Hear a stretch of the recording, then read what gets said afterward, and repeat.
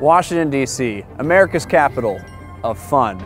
You won't believe what we have in store for 2018. We're starting off with. Shutting down. Wait, why? Insufficient funds. That makes sense. Hopefully, there's a drink special for this. There isn't. If you find something, holler at your boy.